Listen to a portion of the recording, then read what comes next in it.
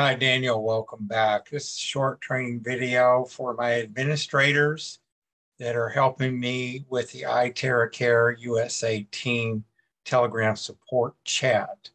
And we had a scammer appear um, on the 30th of April, and I was involved with my church all day. And um, I got word of it late in the day, and I was the only one able to um, remove the scammer. So apologize if there was any offensive language, but he's gone. In the future, for the administrators, and if for your own knowledge, you would just go to the members list. Let me show you how I do it here. Um, click on the iTeraCare USA team all the way in the top here um, right in the center of the web page.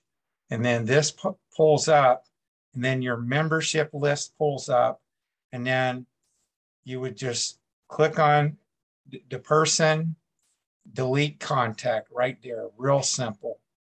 Or for fast, you could just right click and remove from group. So real scene, real simple. And uh, one other thing, if there's some uh, messages in here that are not involved with iTeraCare, I'm going to show you how to get rid of a message.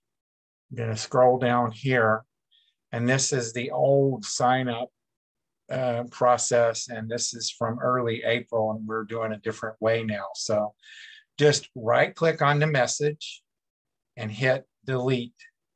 This will delete it for everyone in this chat. Yes, delete, and it's gone. So there you go. Um, that's it for this training video, and we'll have more soon. Bye for now.